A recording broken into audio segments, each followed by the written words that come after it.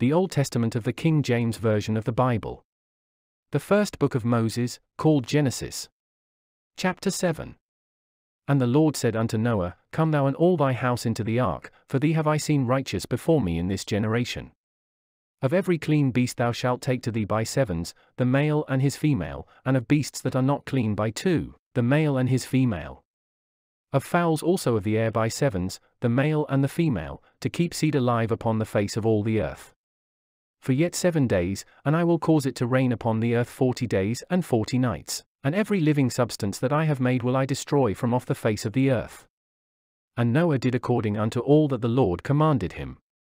And Noah was six hundred years old when the flood of waters was upon the earth. And Noah went in, and his sons, and his wife, and his sons' wives with him, into the ark, because of the waters of the flood. Of clean beasts, and of beasts that are not clean, and of fowls, and of everything that creepeth upon the earth. There went in two and two unto Noah into the ark, the male and the female, as God had commanded Noah. And it came to pass after seven days, that the waters of the flood were upon the earth.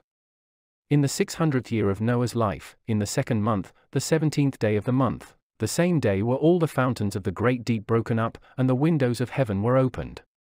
And the rain was upon the earth forty days and forty nights. In the selfsame day entered Noah, and Shem, and Ham, and Japheth, the sons of Noah, and Noah's wife, and the three wives of his sons with them, into the ark.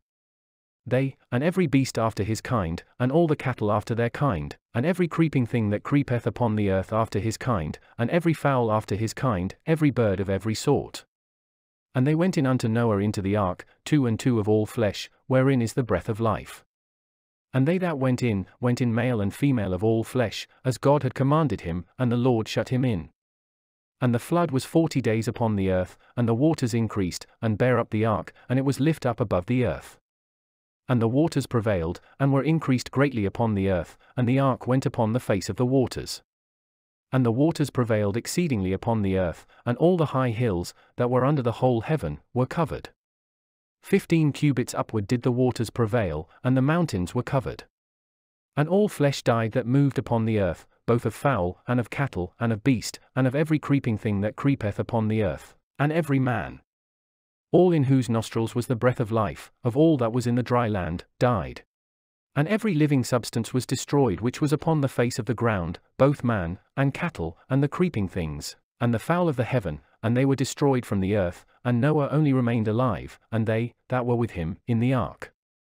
And the waters prevailed upon the earth a hundred and fifty days.